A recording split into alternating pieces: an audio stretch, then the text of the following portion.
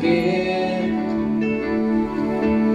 fogadjuk meg, ó az égnek, adjunk csendet néhány percnek, ünnepnapon halott hősökért. Tisztelt ünneplő közönség! Március 15-e az az ünnepünk, amely a világ bármely pontján élő, magát magyarnak való ember szívét büszkeséggel tölti el. Kisgyermektől aggasztjánig minden magyar 1848-at a dicsőséggel, a szabadsággal kapcsolja össze. Talpra magyar, híja haza, itt az idő, most vagy soha. Ezeket a sorokat már óvodában megtanultuk. Lehet, hogy gyermekként még nem értettük jelentését és jelentőségét, de saját kézzel készített kis papírzászlóinkat szorongatva, büszkén szavaltuk a Kossuth szobornál. Az általános iskolában már nem csak Petőfi és Kossuth nevét tudtuk, hanem megismertük Battyányit, Jókai Mort, Vasvárit, Táncsicsot. Felsőben tanultunk Széchenyiről, Bemről, Görgeiről, majd a forradalom és a szabadságharc dicsőséges pillanatairól, és később a bukásáról. Aztán középiskolában elhelyeztük térben és időben az eseményeket, reformkor, európai forradalmak, aztán a dicsőséges tavaszi hadjárat, majd világos, arad, később a kiegyezés. A tanóráknak, megemlékezéseknek, filmeknek és könyveknek köszönhetően annak a márciusi napnak szinte minden pillanatát ismerjük. Március 15-én a Pilvax kávéházban gyülekező ifjak elhatározták, nem csak beszélnek, hanem tesznek is a magyar nemzet szabadságáért. Az a nap szeles és esős volt, mégsem hűtötte le az emberek lelkesedését.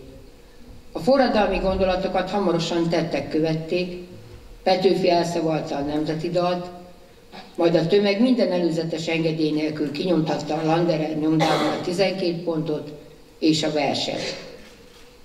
A fellelkesült tömeg egymás kezéből kapkodta ki a frissen nyomtatott lapokat. Aztán Budára vonultak, kiszabadították Táncsics Mihályt. Estére fényárban úszott Pest és Buda. A Nemzeti Színházban díszelőadáson a bánkbánt adták elő. Az előadás köz, előadást megszakítva ismét elszavalták a nemzeti dalt, majd elénekelték a himnuszt, a szózatot. Pár sorban össze tudjuk foglalni a történéseket. De azt is tudjuk, ez a forradalom nem azon a napon kezdődött, és a magyar szabadságharc nem ért véget világosnál. A hideg tél nyomában lassan éled a természet, a tavasz langyos fuvallata új élet ígéretét hozza el. Akkor, 1848-ban az emberek szíve felett háromszínű kokárdát simogatott a szél, a lelkekben pedig szabadságvágy tombolt. Néhány napon belül megalakult az első felelős magyar kormány. A békés politikai átalakulás azonban nem tartott sokáig, 48 nyarán az udvar elérkezettnek látta az időt, hogy Magyarországon is helyreállítsa teljhatalmát. Megkezdődött a szabadságharc. Ma azonban a forradalom győzelmét ünnepeljük. De mégis mit ünneplünk március 15-én? A Magyar Országgyűlés 1991-es határozata értelmében március 15-e az 1848-1849-es forradalom és szabadságharc kezdetének, a modern, parlamentáris Magyarország megszületésének napja és a Magyar Köztársaság nemzeti ünnepe. Ezen a napon osztják ki a Kossuth és Széchenyi díjakat. A kérdés sokkal inkább az, mielőtt hajtunk fejet a mai ünnepen. Az akkori magyarok bátorsága, hazafiassága és szabadság szeretete előtt. Azok előtt, akik tisztességes életet akartak élni, és ezért tudtak annyira bátrak lenni, hogy a reménytelenségből is reményt kovácsoltak maguknak. Március 15-e a nemzet nemzetté válásának, saját sorsunk akarásának és irányításának ünnepe. A módszerek, a lehetőségek változnak, változhatnak, a cél azonban sosem. Nekünk nem kell fegyverrel a kézben harcolnunk a szabadságért. Szavainkkal és tetteinkkel kell bizonyítani, hogy méltó örökösei vagyunk a márciusi ifjaknak. Olyan döntéseket kell hoznunk, amelyekkel megtarthatjuk identitásunkat. Ünnepi beszédem megírása során a legnehezebb volt számomra annak a kérdésnek a megválaszolása, milyen örökséget hagytak ránk a 48-as hősök. Nemeskülti István író, irodalom és filmtörténész egyetemi tanár 1999-ben arról beszélt, szerintem mi hasznosítható 48 örökségéből. Ő így fogalmazott. És ennek van egy nagyon fontos, mára is vonatkoztatható tanulsága, politikai ellenfelek a összefogtak, és megteremtettek egy nemzeti egységet, mert csak így lehet eredményesen fellépni. Úgy érzem, ez a gondolat nem csak politikai, de közéleti és magánéleti téren is időszerű. A hétköznapokon, munkahelyünkön, családi és baráti közösségekben is igyekszünk kellően, ke, igyekeznünk kell közösen és jól dönteni minden kérdésben. Persze ez nem minden esetben ilyen egyszerű. A 21. század embere gyakran, a, gyakran helyezi a saját személyes érdekei elé, érdekeit közösség érdekei elé. Nekünk nem kell fegyvert ragadnunk ahhoz, hogy megvédjük szabadságunkat. Nekünk egy másféle harcot kell megvívnunk, folyamatosan szót kell emelnünk érdekeinkért, a közéletben és a magánéletben, hétköznapokban kell megvívnunk saját forradalmunkat. Az 1848-49-es forradalom és szabadságharc az újkori magyar történelem meghatározó eseménye volt. Egyszerre törekedett az egyéni szabadságjogok kivívására és a nemzeti önrendelkezés megteremtésére. Úgy érzem, ezek a célok azok, amelyeket a modernkori, modernkor embereinek kötelessége megőrizni az 1848-as ifjak örökségéből, és továbbadni az eljövendő generációknak. A 175 évvel ezelőtti dicsőséges forradalomra emlékezve nem kerülhetjük meg Petőfi Sándort. A forradalom sápat, vékony, de hatalmas energiájú kulcsfigurája 200 évvel ezelőtt, 1823. január 1-én született. Emléke előtt tisztelegve diákjaink az ő szavait tolmácsolják. A műsor minden verse Petőfi költeménye. Tisztelt ünneplők! Engedjük, hogy a szívünkbe és a lelkünkbe beköltözzön a béke, a szabadság és az egyetértés. Ahogy ezt annak idején az 1848-ban megfogalmazott, ahogy ezt 1848-ban megfogalmazták, és legyünk büszkék, ezer, legyünk büszkék 175 év távlatából hőseinkre. Kérem, fogadják szeretettel a Szolnoki SC Damjanics János szakképzőiskola és kollégium diákjainak ünnepi műsorát. Köszönöm figyelmet! Szia, Bendi! Sziasztok! Jaj, de jó, hogy összefutottunk. Olyan jó, hogy ma nem kell mennünk iskolába. Milyen szép tavasz időnk van. Fizességi tanár is azt mondta, hogy ma szabadban rajzolják arcképet. Ti mit csináltak? Tegnap megbeszéltük Krisztiánnal, hogy találkozunk itt a Petőfi szobornál, és közösen megcsináljuk a házi feladatot. Jaj, tényleg a házi. El is felejtettem, pedig mikor mondta tanár úr, elég izgalmasnak hangzott. Rögtön megkeresem a telefonomon, hogy pontosan mit is kell csinálni. Keresnünk kell Budapesten olyan helyeket, ahol az 1848. március 15-i események lezajlottak, és az adott helyszíneken szelfit kell készíteni, bizonyítva, hogy ott jártunk. Március 15-én minden évben a márciusi ifjak emléke előtt tisztelgünk, akik fiatalon kiálltak nemzetük jogaiért, népük függetlenségért, szabadságukért, a mi szabadságunkért. Akkor induljunk, nézzünk szét Budapesten, és közben emlékezzünk rájuk. Emlékezzünk rájuk ma és az év minden napján. Minden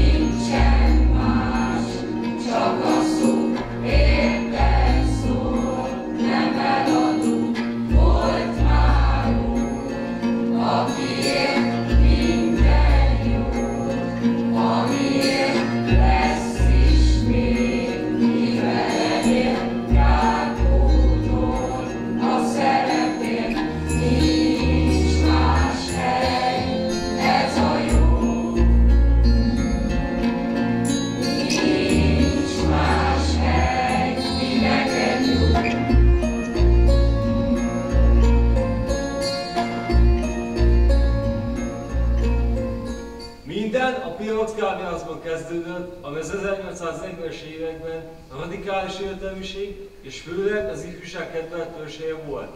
A forrongó Európában 1848 tavaszán Párizs és Bécs után Pesten is kitört a forradalom. Az ifjúság Petőfi Sándor, Jókai Mor és Vaspári Pál vezetésével a március 13-ai Bécsi események hatására cselekvésre szánta magát. A Pillaszban döntötték el a márciusi ifjak, hogy az egyetemekhez vonulva buzdító beszédekkel szólítják meg az ifjúságot. Mindenki egyet akar. A költő talpra szólította a magyarokat, a márciusi ifjakat és a honvédeket, akiknek életüknél fontosabb volt a haza szabadsága. Ma büszke szívem, hogy magyar vagyok. Ízik a lelkem és szemem ragyog, minden levél, minden ág, egy szó csuttog Magyarország! A nemzeti függetlenedés jelképeként minden ember, aki hazafinak tartotta magát, nemzetszín pántlikából rózsát viselt, mely pántlika zöld, veres és fehér színű volt. Szolgaságunk idejében minden ember csak beszélt. Mi valánk a legelső, itt tenni mertünk a honért. Mi emeltük fel először a cselekvés zászlaját, mi riasztók föl zajunkkal, nagy álmából a hazát. A földet, mely koporsó volt, és benne egy nemzet a halott, megillettük, és 14 millió szív földobogott. Egy szóvá, és egy érzelemmé olvadt össze a haza. Az érzelem lelkesülés, a szó szabadság alap.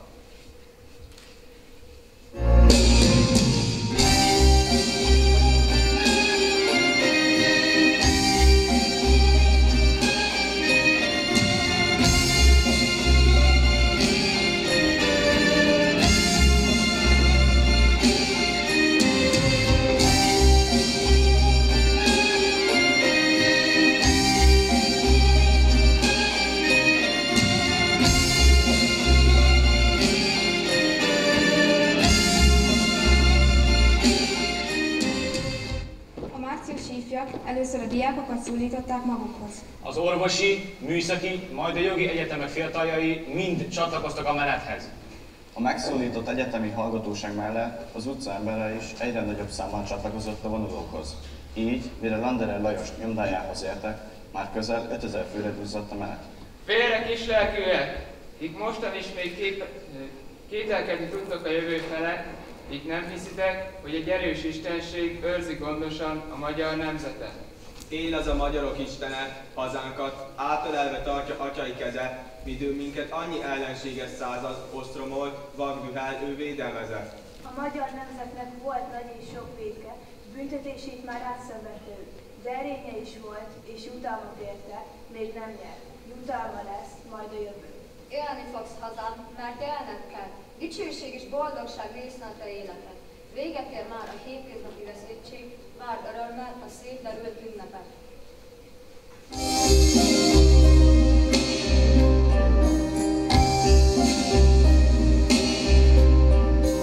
Addig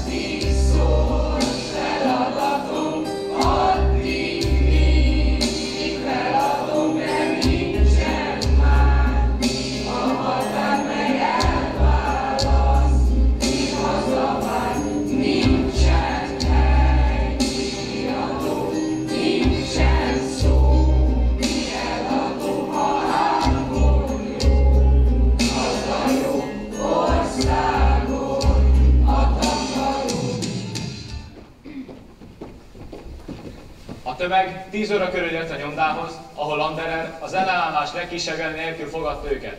Bár először vonakodott, a cenzor engedélynek hiányára hivatkozott, de azután maga javasolta, hogy foglaljanak le egy nyomdagépet.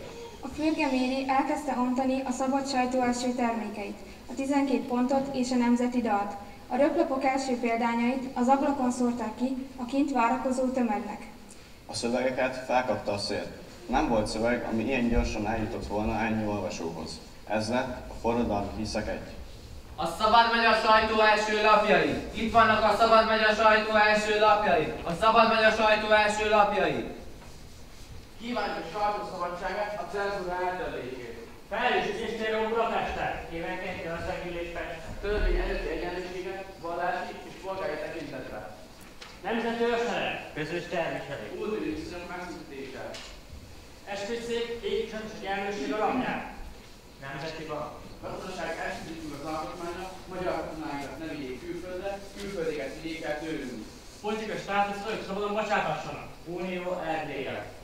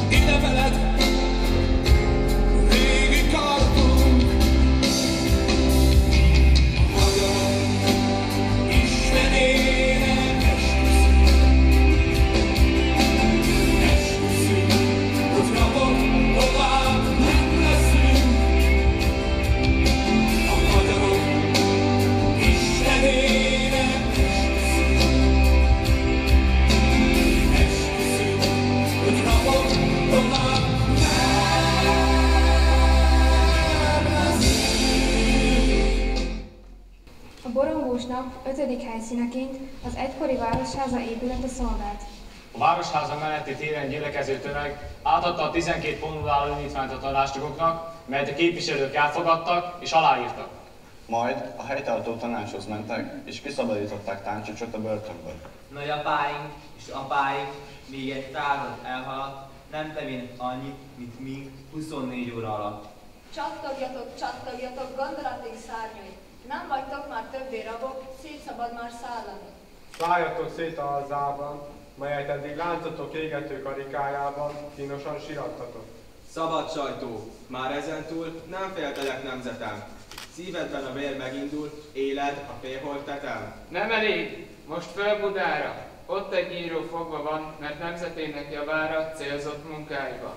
Arra bírót, hogy örömmel és diadallal hoztuk át, aminőt ez az öreg hely Mátyás alatt ünnepelt. Magyar történet múzsája, vésd ezeket követve, az utóvilág tudtára, ott a örökre.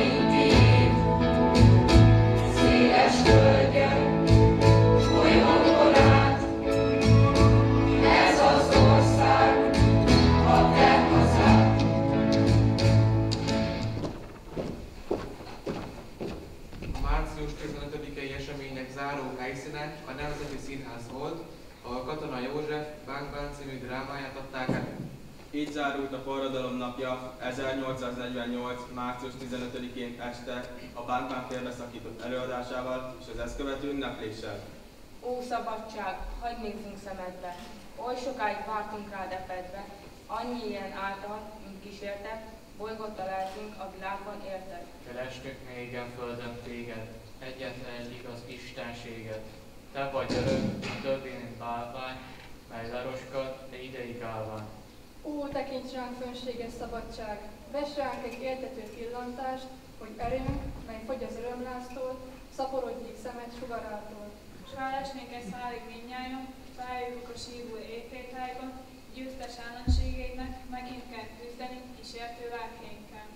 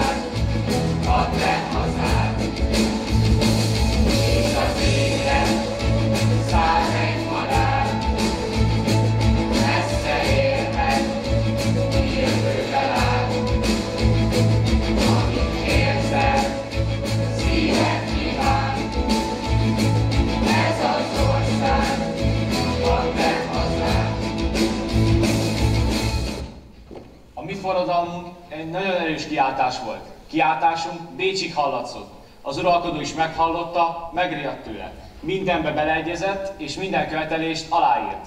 Minden szép remény megvalósulni látszott, de később az uralkodó fegyverrel támadt a magyar szabadság ellen.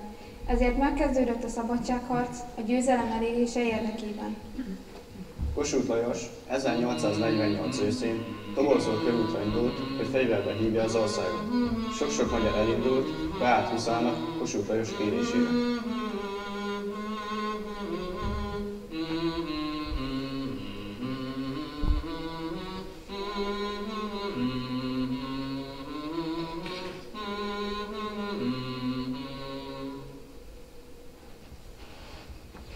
Gyerekek, ez jó kis nap volt. Mennyi mindent tanultunk. Különösnek tűnhet, de eddig nehéz volt megértenem, hogy mit is jelent a hazaszeretet. Idő kell ahhoz, hogy az ember rászmélyen, Idő kell ahhoz, hogy az ember rászmélyen, hogy mit is jelent, szereti a hazáját, hogy megértsem, hogy én is magyar vagyok. Magyar vagyok. Legszebb ország hazám az öt világrész nagy területén. Egy kis világ maga.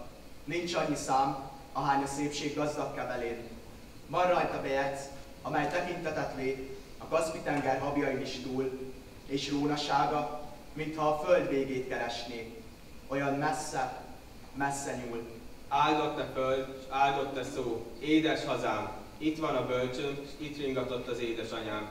És ha egyszer síromon nő a vadvirág, én fentről is, a mennyből is, hallom majd szavát. Együtt dobban a szív, benne dobban a szó. Magyarnak lenni igenis jó. Az egekig ér már a nyíló virág, karjába zárja a magyar hazát. Hazám e föld, mit szívünk fölé, Kárpátok vonnak népünk köré.